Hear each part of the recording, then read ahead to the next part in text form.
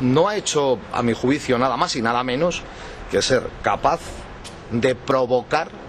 que cada vez haya más gente que lee esos posts y que cada vez haya más gente que los contesta, de forma que se retroalimentan y consiguen crear un portal gigante que se convierte en un diario de información